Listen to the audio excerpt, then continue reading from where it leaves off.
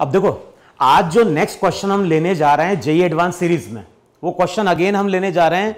ये क्वेश्चन तुम बोल सकते हो कोलिजन का थोड़ा कॉन्सेप्ट है और थोड़ा कॉन्सेप्ट यहाँ पे लगने वाला है किसका? रिलेटिव वेलोसिटी का। अच्छा अब क्वेश्चन में क्या बोल रहा है? क्वेश्चन में बोल रहा है a small ball of mass M is connected by an inextensible massless string of length L with another ball of mass four M they are released with zero tension in the string from a height h as shown in figure find the time when the string becomes taut for the first time after the mass m collide with the ground take all collision to be elastic तो question में क्या given है question में यहाँ पे given है कि ये है तुम्हारा ग्राउंड ये हो गया तुम्हारा ग्राउंड और इस ग्राउंड पे यहाँ पे ये दोनों बॉल टकराने वाली है। इसका मास यहाँ पे दिया हुआ है 4m एम क्वेश्चन में दी हुई है, m की वैल्यू कितनी दी हुई है? m की वैल्यू दी हुई है वहाँ पे 4m तो यहाँ पे जो बॉल है, ये बॉल है, इसका मास कैपिटल एम है, ये कनेक्टेड है विथ अ स्ट्रिंग और यहाँ पे एक और बॉल है जिसका मास वहाँ पे कितना दिया गया है? m इनिशियली जब दोनों को छोड़ा गया है तो बताओ, इन दोनों के बीच में कोई टेंशन है क्या? और अगर इन दोनों के बीच में कोई टेंशन नहीं है, इसका मतलब है कि ये जो बॉल है, ये बॉल मूव कर रही है अंडर ग्रेविटी और ये बॉल भी मूव कर रही है अंडर ग्रेविटी अच्छा ये जो बॉल है, ये बॉल देखो इनिशियली कितनी हाइट पे थी, जिस टाइम पे रिलीज़ किया गया था। तो जिस टाइम पे हमने बॉल को रिलीज़ किया है, उस टाइम पे हाइट एच है, इसका मतलब है कि जब ये बॉल ग्राउंड को हिट करने वाली होगी तो उस टाइम पे इसकी वेलोसिटी अगर v है तो इसकी वेलोसिटी भी वहाँ पे v होगी। और v जो रहेगा, बताओ वो रूट टू जी एच होगा कि नहीं होगा वहाँ पे? फ्री फॉल हो रहा है। तो हमने फॉर्मूला अप्लाई कर दिया V square equal to U square plus two S तो v जो फाइनल वेलोसिटी निकल के आएगी, वो निकल के आएगी रूट टू जी एच तो ये डायग्राम तो है कोलिजन के पहले। अब बताओ, जैसे ही कोलिजन कंप्लीट होगा, अब आफ्टर कोलिजन चेक करो जरा।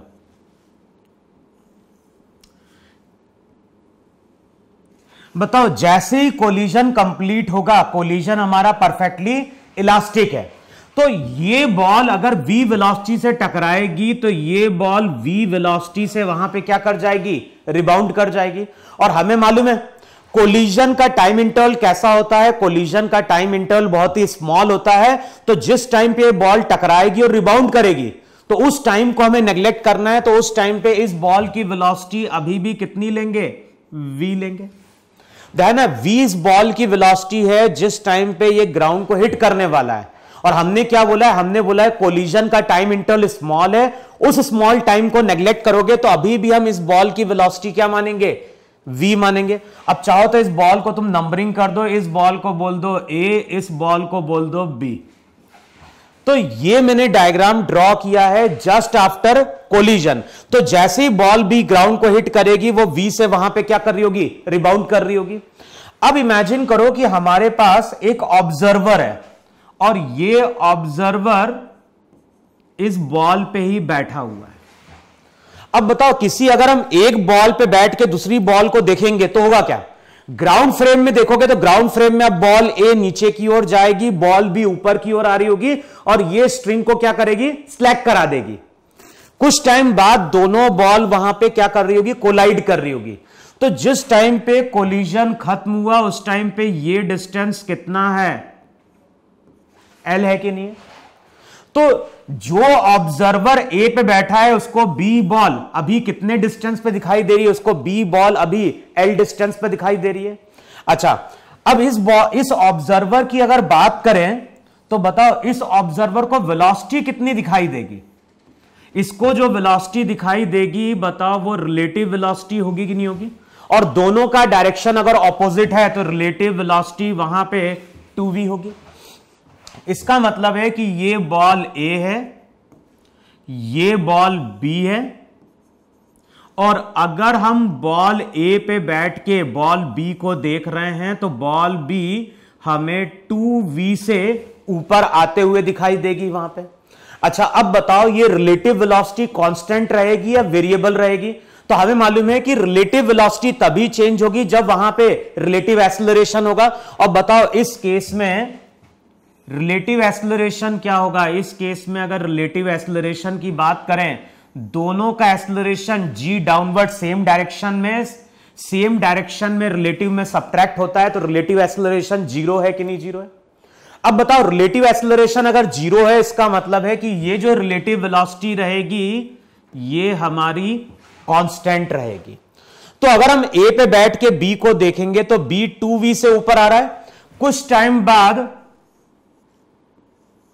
ए और बी बताओ, कुछ टाइम बाद ए और बी कोलाइड कर रहे हैं कि नहीं कोलाइड कर रहे हैं वहाँ पे?